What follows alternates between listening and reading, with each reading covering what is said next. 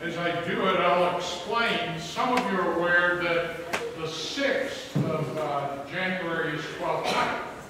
So technically, we're on the outer cusp of Christmas. But for our reflections uh, today, I'm hoping I can make this work. It worked for trial, but, uh, oh, very good. The point is, we take Christmas into the entire year. Christmas is the beginning of the Christian year because it reminds us God came to dwell with us. And so at the close of this service, we don't extinguish Chris- Christmas. We take its light into our lives to share for the entire year. So let us uh, prepare to do that and prepare for communion next Sunday with the transitional pastor as we continue our worship. Okay, um, so would you take a few minutes and greet one another, please? Thank you.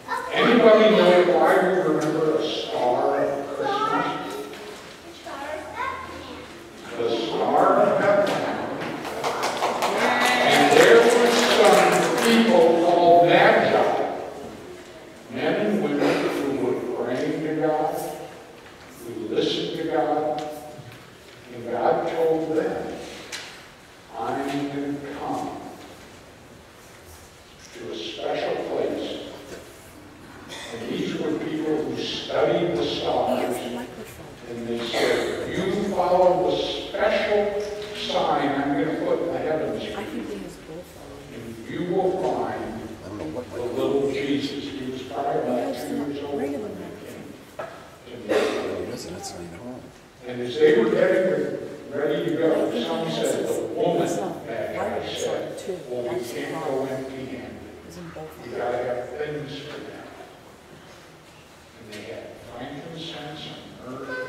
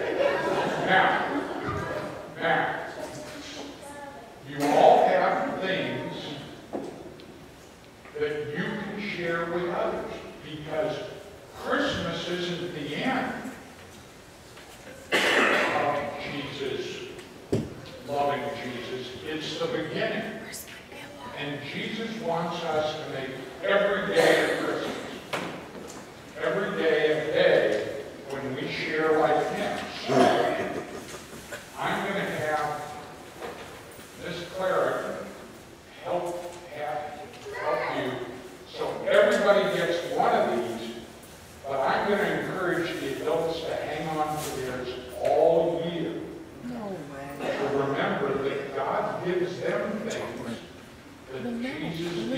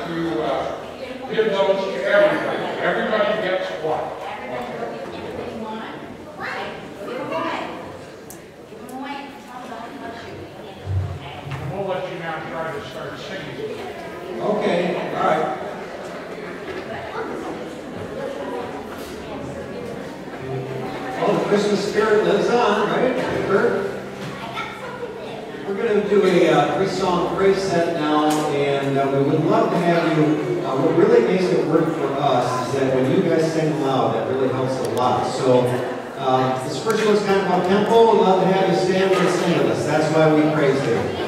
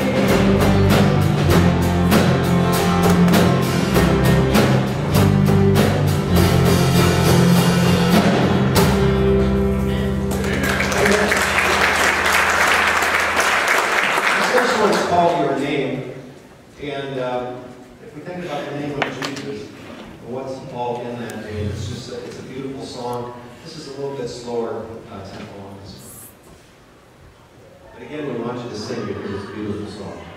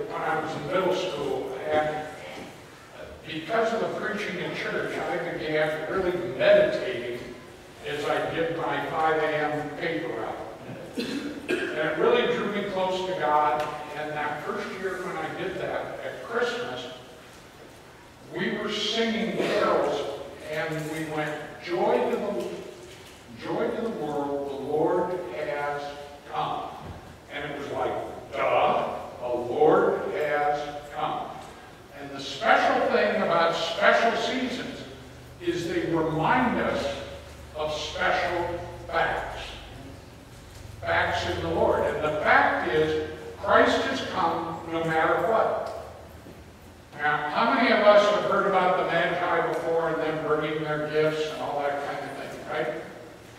And uh, you may want to go home and look at the second chapter of Matthew and really read the whole chapter. But I gotta tell you, if you read the whole chapter, there's a big bummer. There's a big bummer. I'll get back to that. For now, though, I'd ask you to take a look at that handout. And in 1945, after the end of the Great War, you know, that was uh, the Great War after the war to end all wars, and that was going to be the war that ended all wars. Well, oops. The world always uh, seems to find ways to, uh, you know, um, get out of touch with God. And there's some brutal, brutal things going on in the world now. W.H. Auden, a man of Christian commitment, who had great personal struggles in his life with his own discipleship and ethics and such, but had a vision. Wrote something called a Christmas Oratorio. It was an extended piece, and you know, at that time, all the great poets and authors had to do something about Christmas, something about Easter, something about each of the religious themes. But it ends up, after it tells the story of Jesus, and he says, so that was that. Now we must dismantle the tree, putting the decorations back into their cardboard boxes. Some have got broken. We must dismantle the tree and carry them up to the attic. The holly and mistletoe must be taken down and burnt. The children got ready for school. And I assume there's some kids, their families are just coming back, getting ready for school. Some of them are already back in school. Then he goes on, and in the middle of that left-hand side of the page, he says, As in previous years, we have seen the actual vision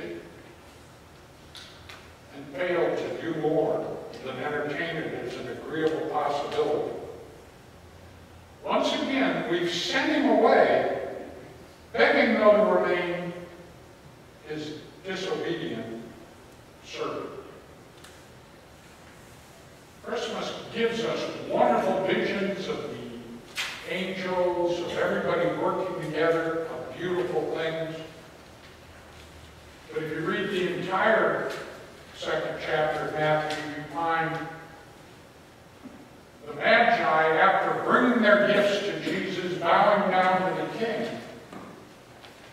ended up being warned in a dream that Herod, who had sent them in the direction of Bethlehem,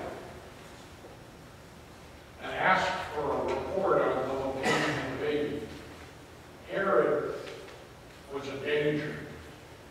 And so the scripture says they went home another way. They didn't go back to Herod. After Christmas, we face a decision. Are we going to go back to the world and its ways, begging to be remain disobedient servants? Are we going to go back to the world, its darkness and despair? Or we going to let that Bethlehem star, we going to let the light of Christ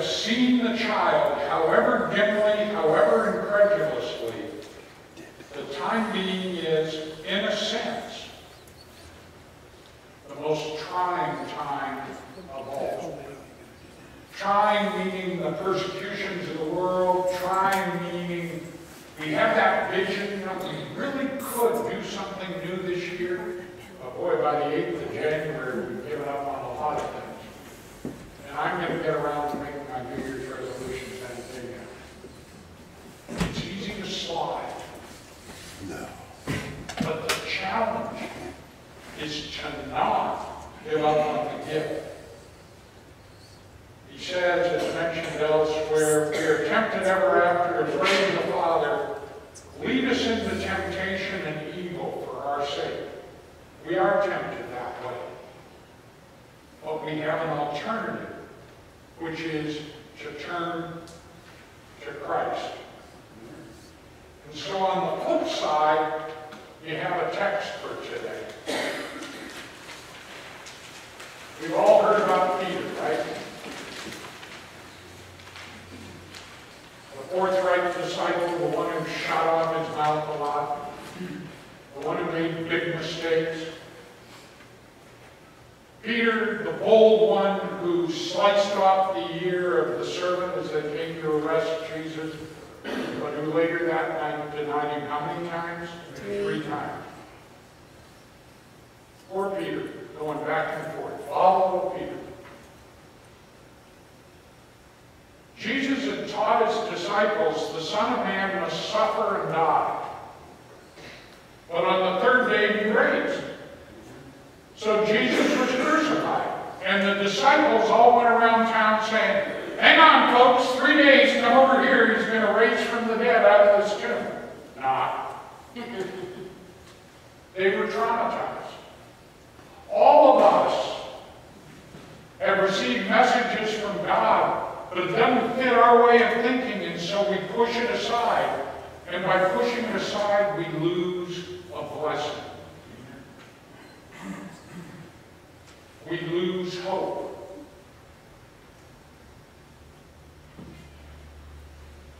We miss an opportunity to share or to serve. Jesus is raised. The disciples are thrilled. Jesus tells them to stay in Jerusalem till the Holy Spirit comes on all of them together with power. And what does Peter do? No offense to anybody here with a boat or whatever. Peter's more than a little stressed. I mean, imagine. The person you idolize is crushed and defeated. And then he's raised from the dead, and it's like uh, uh, uh, his system is on overload. So what does Peter do for comfort? See, I've been going to, to some kind of Chinese. what does Peter do? It says, after Jesus revealed himself, Simon Peter and other disciples went fishing. There can be great comfort in fishing as well as frustration. Now they were doing what God asked them to do, what Jesus asked them to do. So they went fishing and they went fishing all night. And hopefully some of you read ahead a little or you go home and read this again. And what did they catch after fishing all night? Nothing. Nada. And then Jesus came to them, and he came to the edge of the lake, and he said, Put your nets down. And they holler back, We did. The other side of the boat. There aren't any fish there. I didn't ask you whether you thought there were fish there. Put the nets down on the other side of the boat. Whenever we're in trauma or transition, is the time to wait on the Lord and let get His instructions and do it His way. All of us, whether our hands were up or not, had a word from the Lord this Christmas. Maybe we didn't entirely like it. Maybe we didn't entirely understand it. My pitch to you at this time in the life of this fellowship is, this is the time to keep listening for Jesus. Because in the last decade, God has mightily blessed this fellowship, brought in all kinds of new people into the fellowship. But the shepherd the sheep is gone. That's traumatic. Oh, wait a minute. No, the under shepherd of the sheep is gone. Jesus is the shepherd. Amen. And so if we'll turn to him, he'll make clear to us how to bless the flock, how to keep cultivating it, how to take care of it, and how to deal with ourselves. Jesus fed them breakfast. I knew he was a good Lord. He them breakfast. And then after breakfast, he said, Peter, you dummy, get yourself back to Jerusalem. Straighten up and fly right. Now, what did he say? He said, in the middle of the page, it's outlined in yellow, Simon, Simon Peter, do you love me more than these? Peter said, You know that I love you. Jesus said, Feed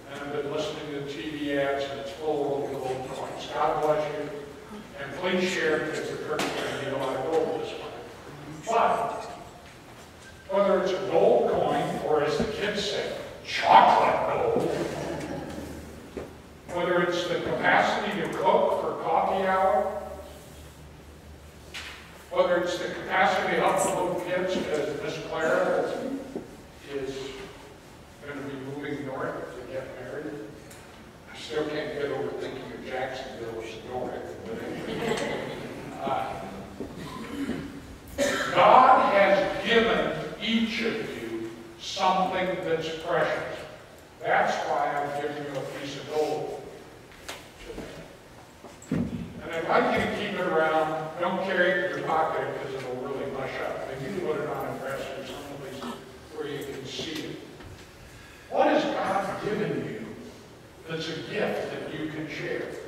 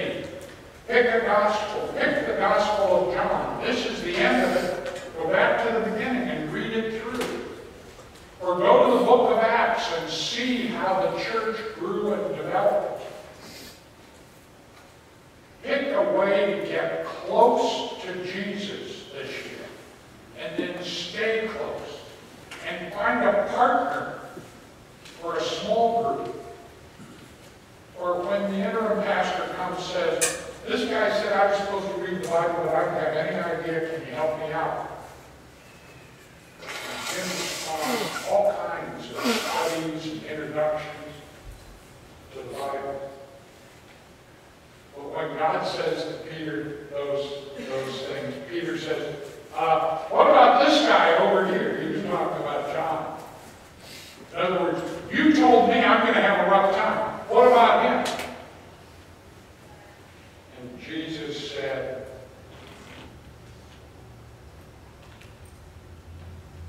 you follow me? What's it to you what I do with him? Amen.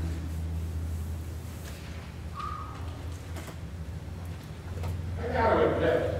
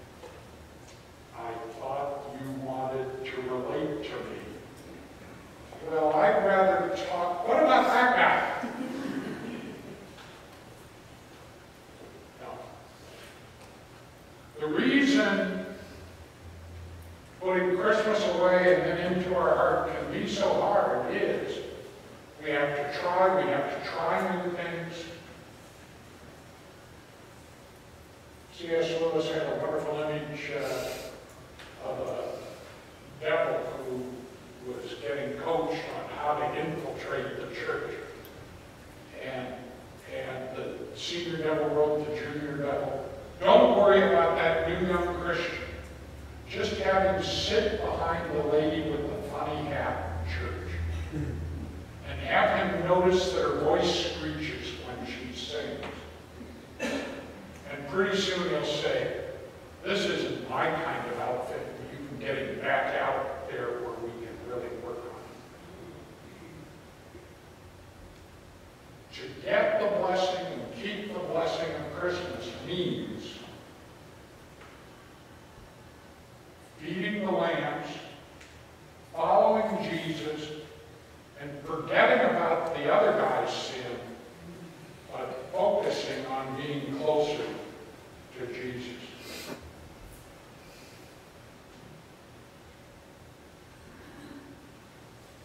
It is a real word of hope. And it's displayed in the story I really love that may not entirely fit. But any of you ever heard of Charlie Shedd? He was a wonderful preacher. And he was talking to a group about prevenient grace, about how God's love goes before us even before we see it. The Magi started for Bethlehem long before Jesus was born. And they came bearing the gifts that were needed, God's pre-positioned supplies. Well, Ted talks about how in the 1800s, 1900s, every little town had a little opera house. They put on plays, they put on many operas, they have magicians, everything was all equipped. And a touring Shakespeare company came to do Othello. And they all knew each other's parts. Othello was to play Othello, the hero, the tragic hero, gets deceived into killing his beloved and then commits suicide. The lead person got sick moments before the production. But there was a high school drama teacher who just happened to know the part of Othello. And uh, the costumes didn't quite fit him because he made me look trim. But he played Othello, and for the whole production, it was really going marvelously well. And people were going, this is really a pretty good deal. And it gets to the big climax where he's about to kill himself, and his big line is, I'm damned. At which point, the production company always pulled the string on the trapdoor, and whoop, he went shooting down off the stage. Pulled the string, the trap door opened, and my rotund friend went halfway down where he was stuck. and after the laughter, a voice from the back said, Praise the Lord! Hell's full!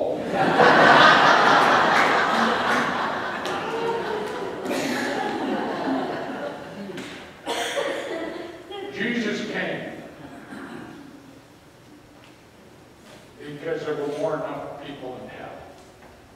He came so we might have life and have it abundantly. If you're not aware of that, talk with Pastor uh, Jim, talk with others. Remember my mother. We started Advent together six weeks ago or so, and I told you about her Christmas club, where she put money in each week because she loved giving gifts, and it, in December that gave her money to buy gifts for people.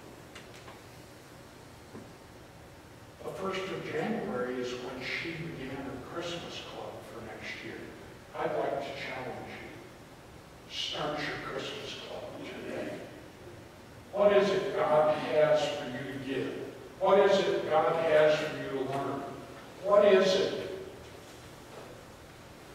that you need so you won't be deceived into the darkness like Othello? Let us pray. Lord, bless Bless our words, bless our reflections, that we might indeed know that you are God. We might recognize the gifts you're bringing to us and the gifts you've given us, the gifts you had us to share, the gifts you would share with us.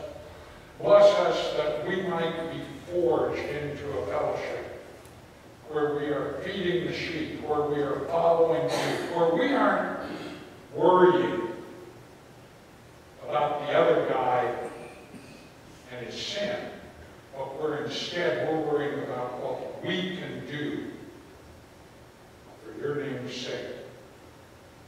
So, Lord, bless us to be a blessing. So bless this Kirk. So full of people that love you. In a community where there's a lot of paradise, but there's a lot of darkness. Equip this fellowship to go out in your name. Equip this fellowship to care for one another. Equip this fellowship for the new and wonderful things you have for us. Equip it in a time of transition that it might be trained up to all good things. Be with those with special need for caring, with our friend Bill who's traveled to Texas, with others. Anoint them with your Holy Spirit. Be with those here and elsewhere whose households have gotten caught up in darkness and need your light, need your healing touch. Be with the families in Fort Lauderdale, some of whom came to visit paradise and instead experienced tragedy. I know you're unleashing all kinds of kindness for those households. Let be multiplied. Let people receive your love even in the midst of that darkness. So bless us, and so bless us to be a blessing we pray as you us to pray, saying, Our Father, who art in heaven, hallowed be thy name. Thy kingdom come, thy will be done, on earth as it is in heaven. Give us this day our daily bread, and forgive us our debts as we forgive our debtors. And lead us not into temptation, but deliver us from evil. For thine is the kingdom, and the power, and the glory forever. Amen.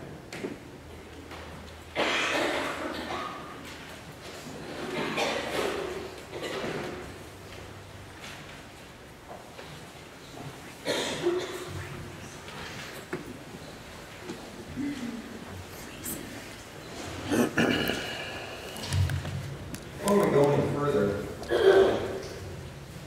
we want to thank George for coming to uh, be with us here during this time.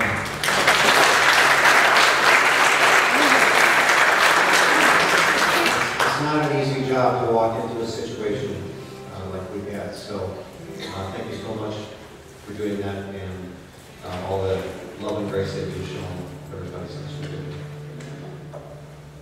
Would you please stand? I'm going to sing Amazing Grace, My Chains Are Gone.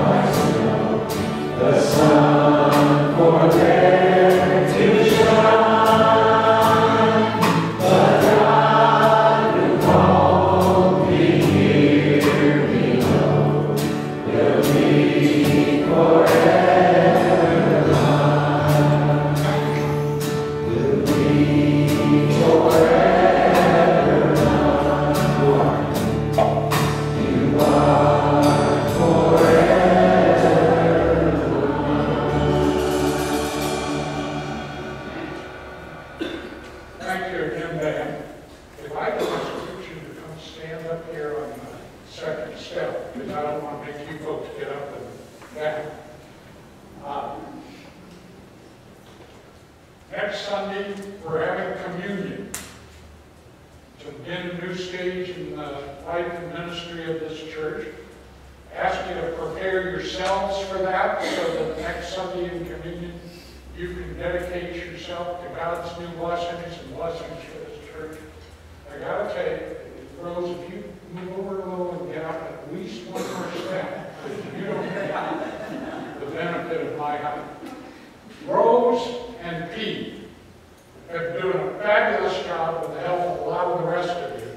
You must have had some real muscle men to move that sectional in yesterday. I think it must literally weigh half the time. They've been working at the manse, but also, if you'd see in the coffee hour, I think we're short a few lampshades and maybe a couple of other things that if you can lend your help or share, would appreciate it. And uh, the We have a kitchen table.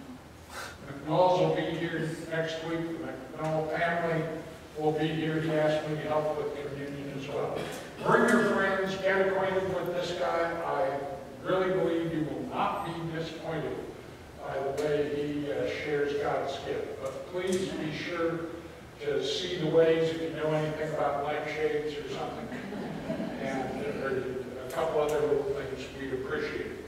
Also, some of you are critical parts of this church, but you've never really made the commitment to be a covenant partner or an associate uh, covenant partner because you're involved in another church elsewhere. At the coffee hour, uh, at about uh, 10, 15, 10 today, I'd ask you to come find me at the office end of the coffee hour.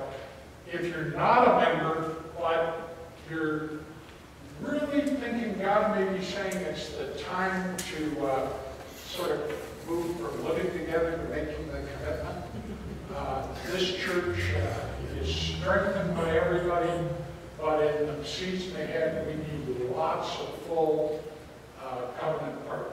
So if uh, you'd see me, we'll talk about when uh, some uh, formal training for that may be done. In the meanwhile, let us all leave this place committed to care for the flock, to feed the sheep, to follow Jesus, and to forget about the other guy, but rather to follow and be in Jesus' name.